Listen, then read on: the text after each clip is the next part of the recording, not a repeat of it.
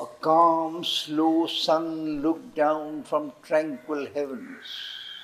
A routed, sullen rearguard of retreat, the last rains had fled, murmuring across the woods, or failed, a sibilant whisper mid the leaves, and the great blue enchantment of the sky recovered the deep rapture of its smile.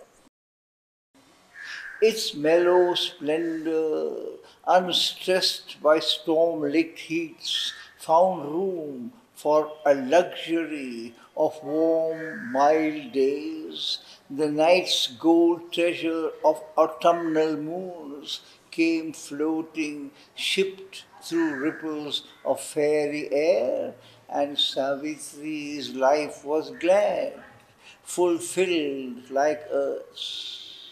She had found herself. She knew her being's aim. Although her kingdom of marvelous change within remained unspoken in her secret breast, all that lived round her felt its magic charm. The trees' rustling voices told it to the winds. Flowers spoke in ardent hues and unknown joy. The birds caroling became a canticle. The beasts forgot their strife and lived at ease. Absorbed in wide communion with the unseen, the mild ascetics of the wood received a sudden greatening of their lonely muse, this bright perfection of her inner state, poured overflowing into her outward scene, made beautiful dull, common, natural things, and action wonderful, and time divine. Even the smallest, meanest work became a sweet or glad and glorious sacrament, an offering to the self of the great world, or a service to the one in each and all. A light invaded all from her being's light. Her heartbeat's dance communicated bliss. Happiness grew happier, shared with her by her touch and grief some solace found when she drew near. Above the cherished head of Satyavan, she saw not now fate's dark and lethal orb, a golden circle round a mystic sun disclosed to her newborn predicting sight the cyclic rondure of a sovereign life. In her visions and deep etched veridical dreams, in brief shiftings of the future's heavy screen, he lay not by a dolorous decree, a victim in the dismal antre of death, or borne to blissful regions far from her, forgetting the sweetness of earth's warm delight forgetting the passionate oneness of love's clasp, absorbed in the self wrapped immortal's bliss. Always he was with her, a living soul that met her eyes with close, enamored eyes, a living body near to her body's joy but now no longer in these great wild woods, in kinship with the days of bird and beast, and level to the bareness of earth's brown breast, but mid the thinking, high built lives of men, in tapestry chambers and on crystal floors, in armored towns, or garden pleasure walks, even in distance closer than her thoughts, body to body near, soul near to soul, moving as if by a common breath and will, They were tied in the single circling of their days together by love's unseen atmosphere, inseparable like the earth and sky. Thus, for a while, she trod the golden path. This was the sun before abysmal night. Once, as she sat in deep felicitous muse, still quivering from her lover's strong embrace, and made her joy a bridge twixt earth and heaven, an abyss yawned suddenly beneath her heart. A vast and nameless fear dragged at her nerves, as drags a wild beast its half slaughtered prey. It seemed to have no den from which it sprang. It was not hers, but hid its hidden cause. Then rushing came its vast and fearful fount, a formless dread with shapeless, endless wings, filling the universe with its dangerous breath, a denser darkness than the night could bear, enveloped the heavens and possessed the earth. A rolling surge of silent death it came, curving around the far edge of the quaking globe effacing heaven with its enormous stride, it willed to expunge the choked and anguished air and end the fable of the joy of life. It seemed her very being to forbid, abolishing all by which her nature lived, and labored to blot out her body and soul, a clutch of some half seen invisible, an ocean of terror and of sovereign might, a person and a black infinity. It seemed to cry to her without thought or word the message of its dark eternity and the awful meaning of its silences. Out of some sullen, monstrous vast arisen, out of an abysmal deep of grief and fear, imagined by some blind, regardless self, a consciousness of being without its joy, empty of thought, incapable of bliss, that felt life blank and nowhere found a soul, a voice to the dumb anguish of the heart conveyed a stark sense of unspoken words.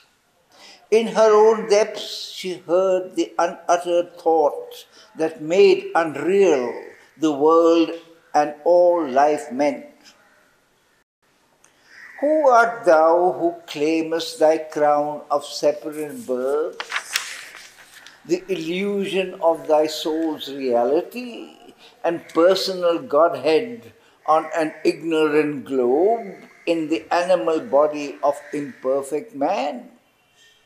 Hope not to be happy in a world of pain, and dream not listening to the unspoken word and dazzled by the inexpressible ray transcending the mute superconscious realm to give a body to the unknowable, or for a sanction of to thy heart's delight, to burden with bliss the silent, still, supreme, profaning its bare and formless sanctity, or call into thy chamber the divine and sit with God, tasting a human joy I have created all, all I devour. I am death and the dark, terrible mother of life. I am Kali, black and naked in the world. I am Maya, and the universe is my cheat. I lay waste human happiness with my breath and slay the will to live, the joy to be, that all may pass back into nothingness and only abide the eternal and absolute. For only the blank eternal can be true. All else is shadow and flash in mind's bright glass. Mind, hollow mirror, in which ignorance sees a splendid figure of its own false self and dreams. It sees a glorious solid world. O soul, inventor of man's thoughts and hopes, thyself the invention of the moment stream, illusion center, or subtle apex point, at last know thyself from vain existence cease. A shadow of the negating absolute, the intolerant darkness travelled surging past and ebbed in her the formidable voice.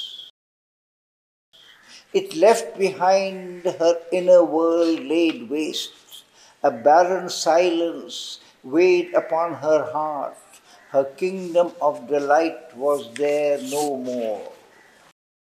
Only her soul remained, its empty stage, awaiting the unknown eternal will.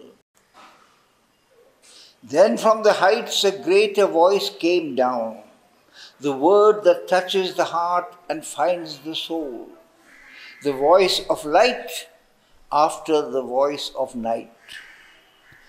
The cry of the abyss drew heaven's reply, a might of storm chased by the might of the sun. O soul, bear not thy kingdom to the foe, consent to hide thy royalty of bliss, lest time and fate find out its avenues and beat with thunderous knock upon thy gates. Hide while thou canst thy treasure of separate self behind the luminous rampart of thy depths, till of a vaster empire it grows part.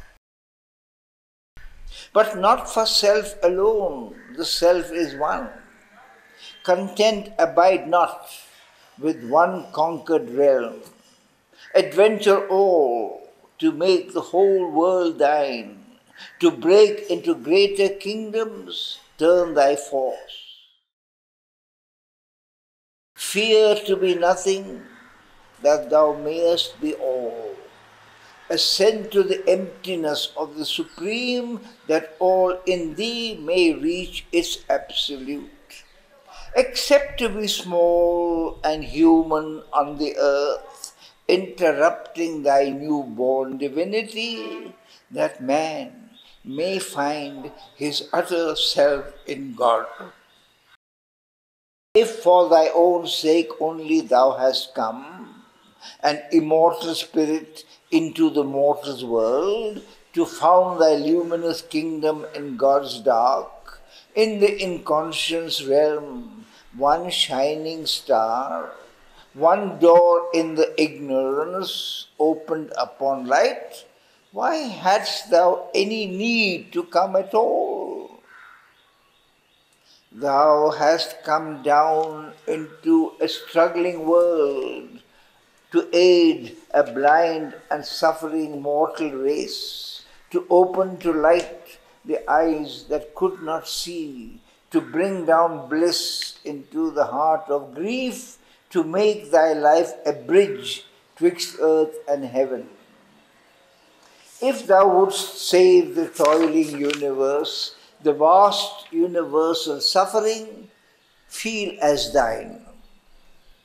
Thou must bear the sorrow that thou claimest to heal. The day bringer must walk in darkest night.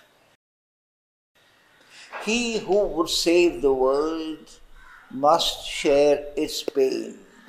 If he knows not grief, how shall he find grief's cure? If far he walks above mortality's head, how shall the mortal reach that too high path? If one of theirs they see scale heaven's peak, men then can hope to learn that Titan climb. God must be born on earth and be as man, that man, being human, may grow even as God. He who would save the world must be one with the world. All suffering things contain in his heart space and bear the grief and joy of all that live. His soul must be wider than the universe and feel eternity as its very stuff, rejecting the moment's personality, know itself older than the birth of time, creation and incidence in its consciousness, Arcturus and Belphegor, grains of fire circling in a corner of its boundless self, the world's destruction, a small transient storm in the calm infinity it has become. If thou wouldst a little loosen the vast chain, draw back from the world that the idea has made, thy mind's selection from the infinite, thy senses gloss on the infinitesimal's dance, then shalt thou know how the great bondage came. Banish all thought from thee and be God's void. Then shalt thou uncover the unknowable, and the superconscious conscious grow on thy tops. Infinity's vision through thy gaze shall pierce. Thou shalt look into the eyes of the unknown Find the hid truth in things seen, null, and false. Behind things known, discover mysteries real. Thou shalt be one with God's bare reality and the miraculous world He has become, and the diviner miracle still to be. When nature, who is now unconscious God, translucent grows to the eternal's light, her seeing his sight, her walk his steps of power, and life is filled with a spiritual joy, and matter is the Spirit's willing bride. Consent to be nothing and none dissolve time's work. Cast off thy mind, step back from form and name, annul thyself that only God may be. Thus spoke the mighty and uplifting voice, and Savitri heard. She bowed her head and mused, plunging her deep regard into herself in her soul's privacy in the silent night. Aloof and standing back, detached and calm, a witness of the drama of herself, a student of her own interior scene, she watched the passion and the toil of life and heard in the crowded thoroughfares of mind the unceasing tread and passage of her thoughts. All she allowed to rise that chose to stir, calling, compelling naught, forbidding naught, she left all to the process formed in time and the free initiative of nature's will. Thus, following the complex human play, she heard the prompter's voice behind the scenes, perceived the original libretto set and the organ theme of the composer force. All she beheld that surges from man's depths, the animal instincts prowling mid life's trees, the impulses that whisper to the heart, and passion's thunder chase sweeping the nerves. She saw the powers that stare from the abyss and the wordless light that liberates the soul. But most her gaze pursued the birth of thought. Affranchised from the look of surface mind, she paused not to survey the official case, the issue of forms from the office of the brain, its factory of thought sounds and soundless words and voices stored within, unheard by men, its mint and treasury of shining coin. These were but counters in mind's symbol game, a gramophone's disc, a reproduction's film, a list of signs, a cipher and a code. In our unseen, subtle body, thought is born, or there it enters from the cosmic field.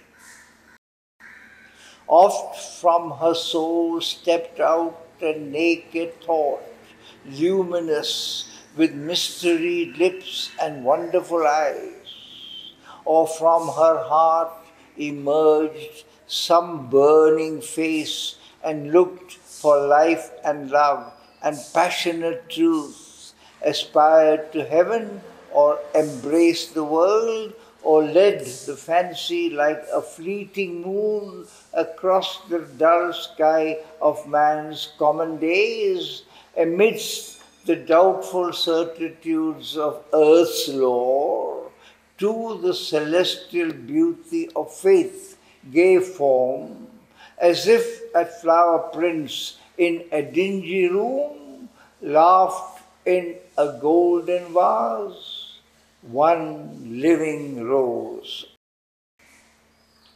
A thaumaturgist sat in her heart's deep, compelled the forward stride, the upward look, till wonder leaped into the illumined breast and life grew marvelous with transfiguring hope. A seeing will pondered between the brows. Thoughts, glistening angels, stood behind the brain in flashing armor, folding hands of prayer, and poured heaven's rays into the earthly form. Imaginations flamed up from her breast, unearthly beauty touches of surpassing joy and plans of miracle, dreams of delight around her navel lotus clustering close, her large sensations of the teeming worlds streamed their dumb movements of the unformed idea.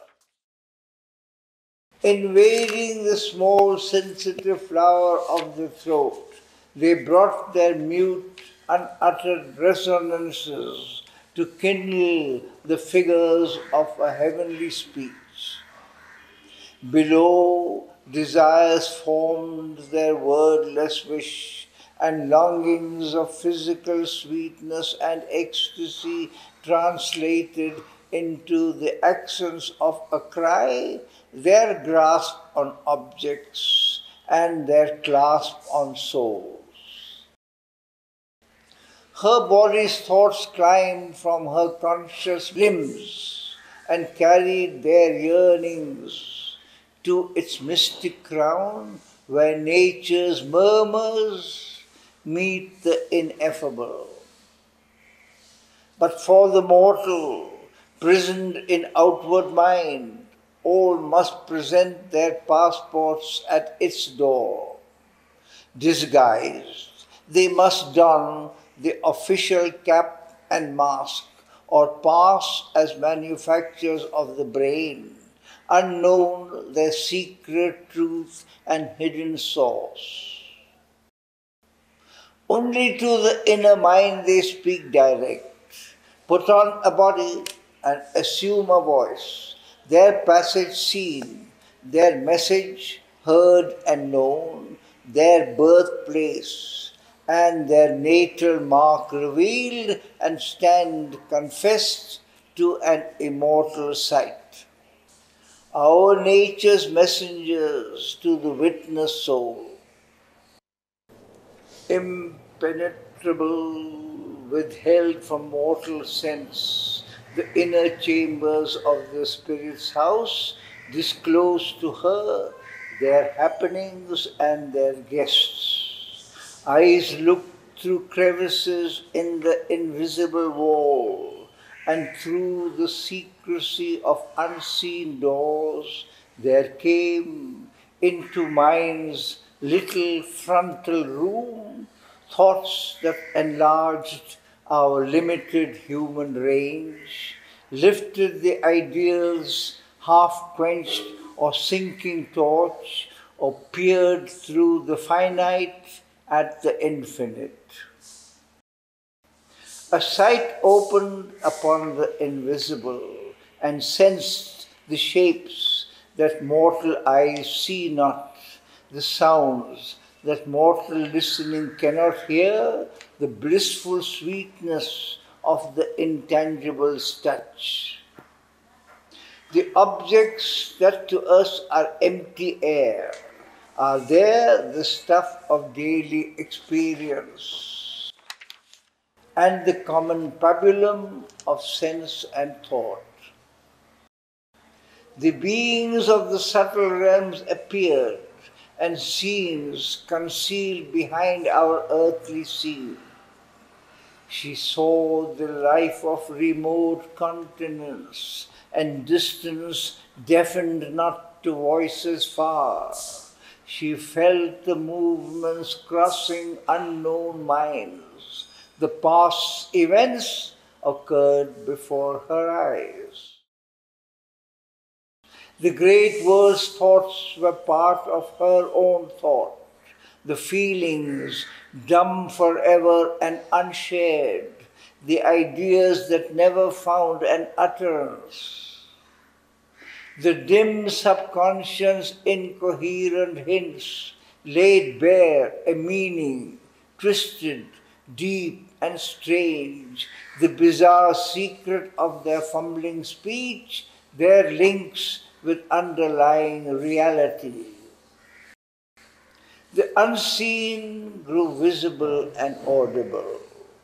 Thoughts leaped down from a superconscious field like eagles swooping from a viewless peak. Thoughts gleamed up from the screen's subliminal depths like golden fishes from a hidden sea. This world is a vast, unbroken totality. A deep solidarity joins its contrary powers. God's summits look back on the mute abyss. So man, evolving to divinest heights, colloques still with the animal and the jinn. The human Godhead with stargazer eyes lives still in one house with the primal beast the high meets the low, all is a single plan. So she beheld the many births of thought, if births can be of what eternal is. For the eternal's powers are like himself, timeless in the timeless, in time ever born. This too she saw that all in outer mind is made, not born, a product perishable, forged in the body's factory by earth force. This mind is a dynamic small machine, producing ceaselessly till it wears out with raw material drawn from the outside world, the pattern sketched out by an artist god. Often our thoughts are finished cosmic wares, admitted by a silent office gate and passed through the subconscious galleries, then issued in time's mark as private make. For now they bear the living person stamp. A trick, a special hue claims them as his own. All else is nature's craft, and this too hers. Our tasks are given. We are but instruments. Nothing is all our own that we create. The power that acts in us is not our force. The genius too receives from some high fount concealed in a supernal secrecy the work that gives him an immortal name. The word, the form, the charm, the glory and grace are mission sparks from a stupendous fire a sample from the laboratory of God, of which he holds the patent upon earth, comes to him wrapped in golden coverings. He listens for inspiration's postman knock and takes delivery of the priceless gift, a little spoilt by the receiver mind or mixed with the manufacture of his brain. When least defaced, then is it most divine. Although his ego claims the world for its use, man is a dynamo for the cosmic work. Nature does most in him, God the high rest. Only his soul's acceptance is his own. This independent, once a power supreme, self born before the universe was made, accepting cosmos, binds himself nature's serf till he becomes her freedman or God's slave. This is the appearance in our mortal front. Our greater truth of being lies behind. Our consciousness is cosmic and immense. But only when we break through matter's wall, in that spiritual vastness can we stand, where we can live the master of our world. And mind is only a means and body a tool. Above the birth of body and of thought, our spirit's truth lives in the naked self, and from that height, unbound, surveys the world. Out of the mind she rose to escape its law, that it might sleep in some deep shadow of self, or fall silent in the silence of the unseen. High she attained and stood from nature free, and saw creation's life from far above. Thence upon all she laid her sovereign will to dedicate it to God's timeless calm. Then all grew tranquil in her being space, only sometimes small thoughts arose and fell like quiet waves upon a silent sea, or ripples passing over a lonely pool when a stray stone disturbs its dreaming rest.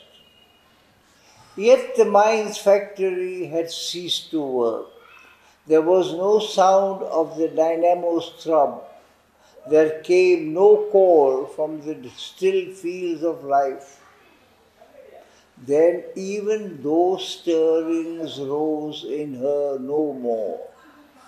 Her mind now seemed like a vast empty room, or like a peaceful landscape without sound. This men call quietude and prize as peace. But to her deeper sight, all yet was there, effervescing like a chaos under a lid. Feelings and thoughts cried out for word and act, but found no response in the silenced brain. All was suppressed but nothing yet expunged. At every moment might explosion come. Then this too paused. The body seemed a stone. All now was wide, mighty vacancy, but still excluded from eternity's hush for still was far the repose of the Absolute and the ocean silence of infinity. Even now, some thoughts could cross her solitude. These surge not from the depths nor from within, cast up from formlessness to seek a form, spoke not the body's needs nor voiced life's call. These seemed not born nor made in human time. Children of cosmic nature from a far world, ideas, shapes in complete armor of words, posted like travelers in an alien space. Out of some far expanse they seem to come, as if carried on vast wings, like large white sails, and with easy access reach the inner ear, as though they used a natural privilege right to the high royal entries of the soul. As yet their path lay deep concealed in light. Then, looking to know whence the intruders came, she saw a spiritual immensity pervading and encompassing the world space as ether, our transparent, tangible air, and through it sailing tranquilly a thought. As smoothly glides a ship nearing its port, in ignorant of embargo and blockade, confident of entrance and the visa seal, it came to the silent city of the brain, towards its accustomed and expectant quay, and but met a barring will, a blow of force, and sank, vanishing in the immensity. After a long vacant pause, another appeared, and others, one by one, suddenly emerged, minds unexpected visitors from the unseen like far off sails upon a lonely sea. But soon that commerce failed, none reached mine's coast. Then all grew still, nothing moved any more. Immobile, self wrapped, timeless, solitary, a silent spirit pervaded silent space in that absolute stillness bare and formidable, there was glimpsed an all negating void supreme that claimed its mystic nihil sovereign right to cancel nature and deny the soul. Even the nude sense of self grew pale and thin, impersonal, signless, featureless, void of forms, a blank, pure consciousness had replaced the mind.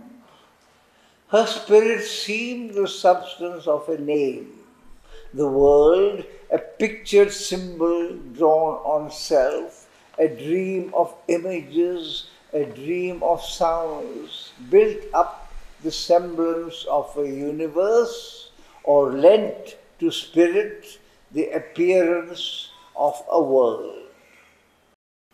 This was self seeing in that intolerant hush. No notion and no concept could take shape. There was no sense to frame the figure of things. A sheer self sight was there. No thought arose. Emotion slept deep down in the still heart or lay buried in a cemetery of peace. All feelings seemed quiescent, calm, or dead, as if the heartstrings rent could work no more, and joy and grief could never rise again. The heart beat on with an unconscious rhythm but no response came from it and no cry. Vain was the provocation of events. Nothing within answered an outside touch. No nerve was stirred and no reaction rose. Yet still her body saw and moved and spoke. It understood without the aid of thought. It said whatever needed to be said, it did whatever needed to be done. There was no person there behind the act, no mind that chose or passed the fitting word. All wrought like an unerring, apt machine. As if continuing old habitual turns and pushed by an old unexhausted force, the engine did the work for which it was made. Her consciousness looked on and took no part. All it upheld, in nothing had a share.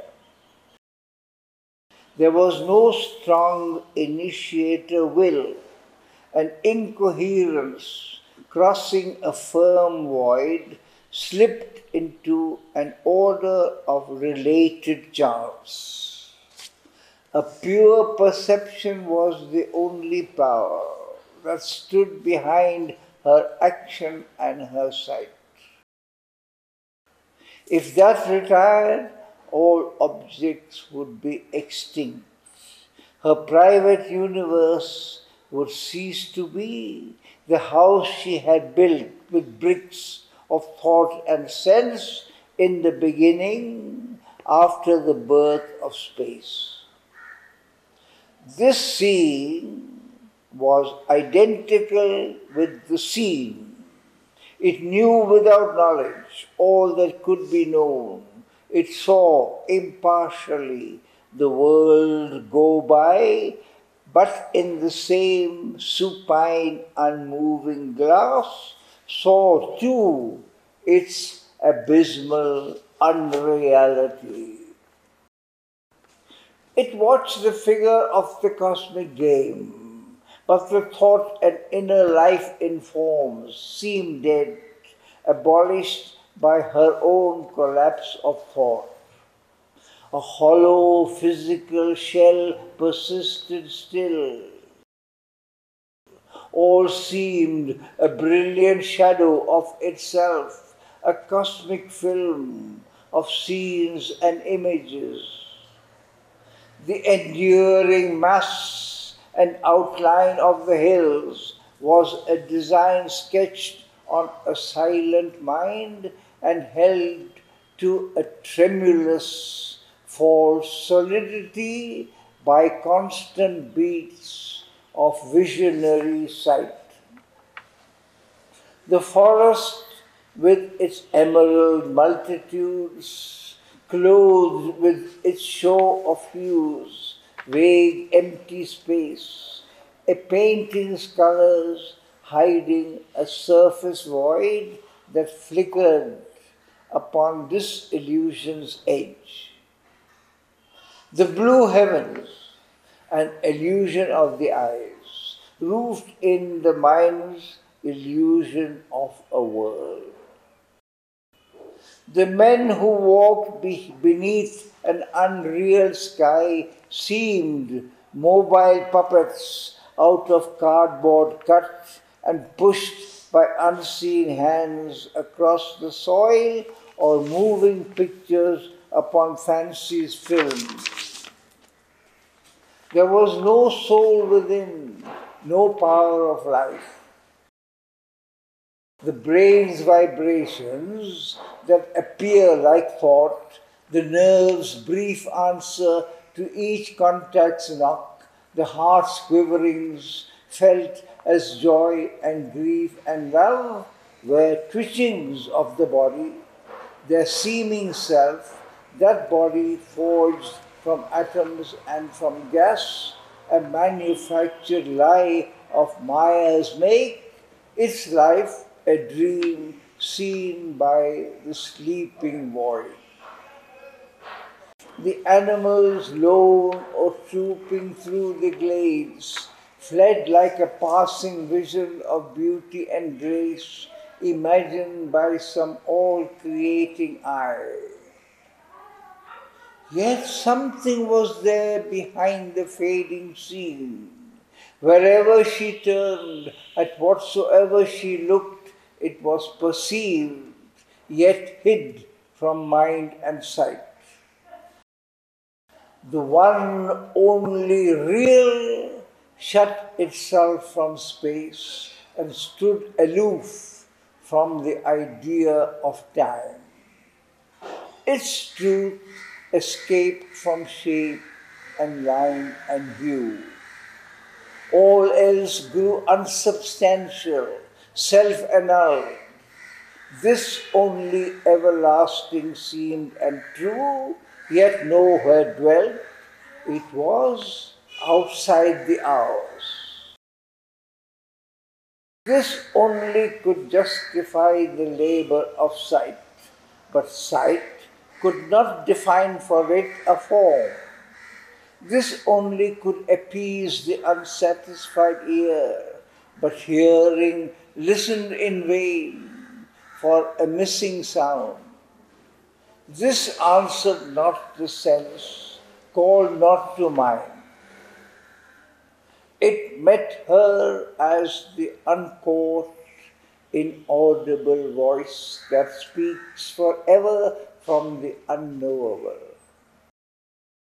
It met her like an omnipresent point pure of dimensions, unfixed, invisible, the single oneness of its multiplied beat, accentuating its sole eternity. It faced her as some vast north's immensity, an endless no to all that seems to be, an endless yes to things ever unconceived and all that is unimagined and unthought, an eternal zero or untotaled or a spaceless and a placeless infinite. Yet eternity and infinity seemed but words, vainly affixed by mind's incompetence to its stupendous lone reality. This world is but a spark burst from its light. All moments flashes from its timelessness.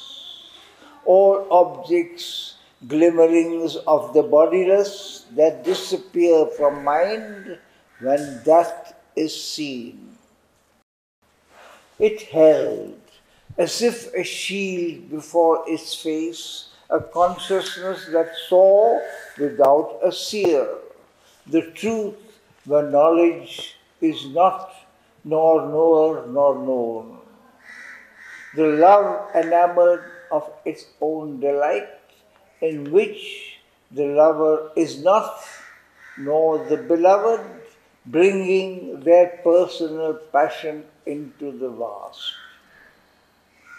The force, omnipotent inquietude, the bliss that none can ever hope to taste.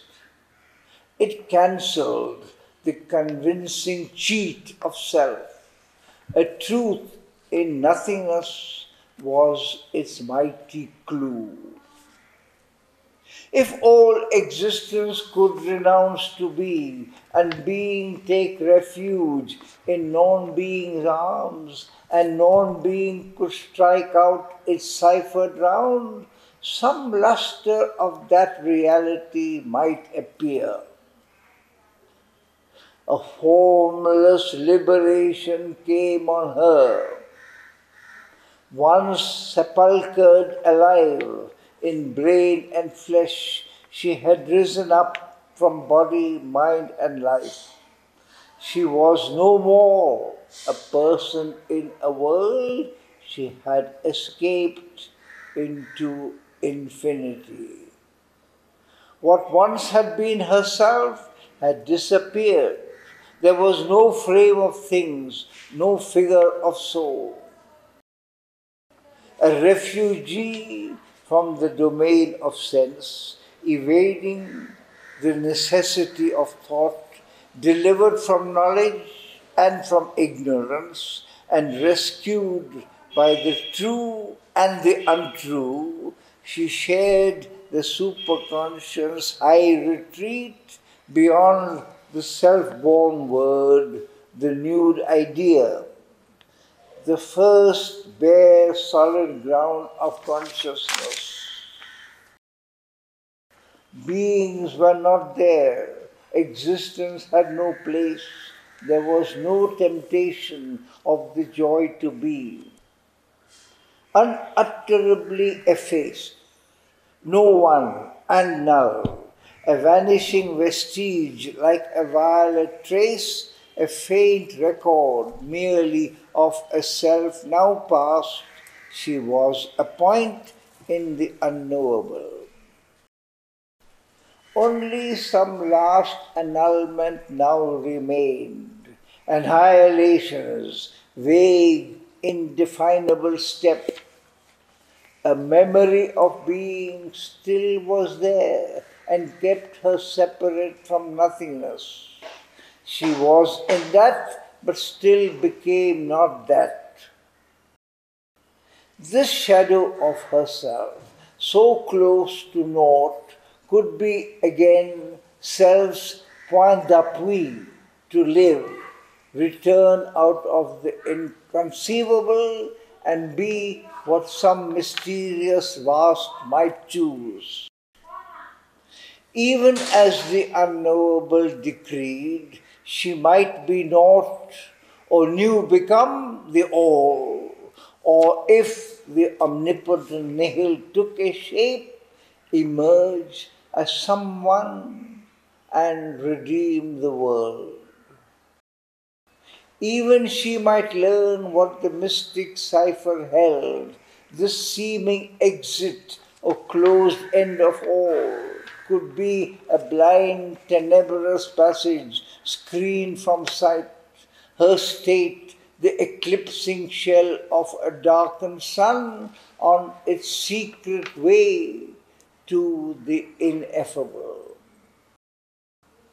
Even now, her splendid being might flame back out of the silence and the nullity, a gleaming portion of the all wonderful, a power of some self affirming absolute, a shining mirror of the eternal truth, to show to the one in all its manifest face, to the souls of men their deep identity. Or she might wake into God's quietude beyond the cosmic day and cosmic night and rest appeased in his white eternity. But this was now unreal or remote or covered in the mystic formless blank. In infinite nothingness was the ultimate sign, or else the real was the unknowable. And a lonely absolute negated all. It effaced the ignorant world from its solitude and drowned the soul in its everlasting peace.